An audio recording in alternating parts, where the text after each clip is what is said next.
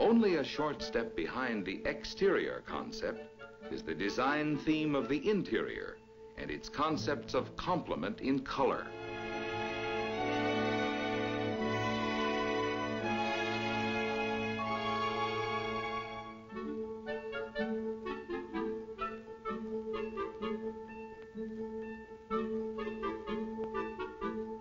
Textures must harmonize with colors, and fabrics must be durable as well as artistically compatible with the overall interior theme.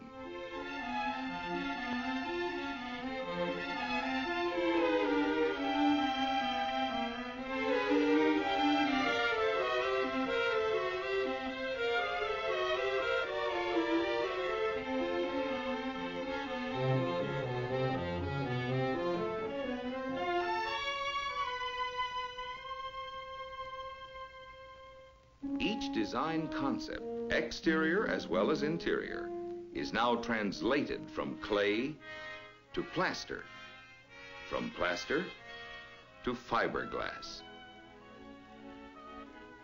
Thus, the ideas, the concepts, and the dreams of the stylists come to life in the form of full-scale components modeled in fiberglass